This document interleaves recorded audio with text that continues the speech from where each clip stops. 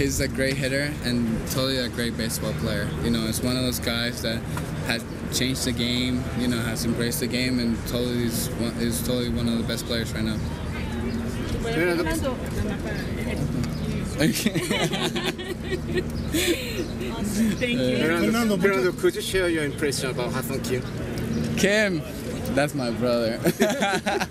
I love Kim, but you know he's a great player. He's a great teammate, great person, and uh, you know he's just getting a chance little by little. But he's totally gonna, you know, put his game out there, and uh, you know, I really believe in his talent and what he can do for this game. So your father, Fernando Senior, he has a history record against the Korean pitcher, and now you are playing with the Korean player. What do you think about it? It's amazing. You know, Chan Ho. Uh, uh, you know, I have a lot of respect for him. You know, the history of him, but that is a great. It's a great story.